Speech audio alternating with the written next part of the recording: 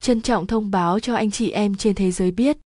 Xin cảnh báo mọi người, đây là hình ảnh tác phẩm có tên giác ngộ do akiane vẽ. Nếu là người được ơn chúa thì không bao giờ akiane vẽ về phật giáo như vậy.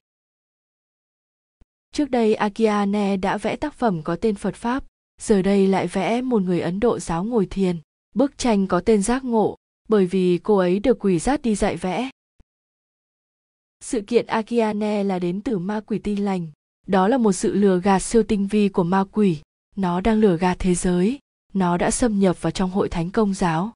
Nhiều giáo dân đã mua bức tranh hoàng tử hòa bình do akiane vẽ đem về thờ, vì tưởng rằng đó ảnh thật của đức chúa giêsu akiane vẽ hình đức mẹ màu chủ sắc u tối, và không giống như những hình truyền thống. Nói chung, tất cả là nhiễm ám khí ma quỷ. Thật là tai hại, bởi vì người công giáo rước nó vào nhà để nó cám dỗ mình ám khí của quỷ sẽ chiếm lĩnh gia đình ấy. Họ phải đốt bỏ ảnh của quỷ. Cả gia đình phải xưng tội thiêng liêng và rước lễ thiêng liêng. Cầu nguyện nhiều kinh mân côi dọn mình tận hiến gia đình dâng căn nhà cho đức mẹ. Và xin đức mẹ diệt ám khí của Satan cho mọi người. Trân trọng thông báo. Ngày 27 tháng 5 năm 2022, Maria Ferro do An Hồng Nhu phạm văn lực nô lệ tình yêu Thiên Chúa.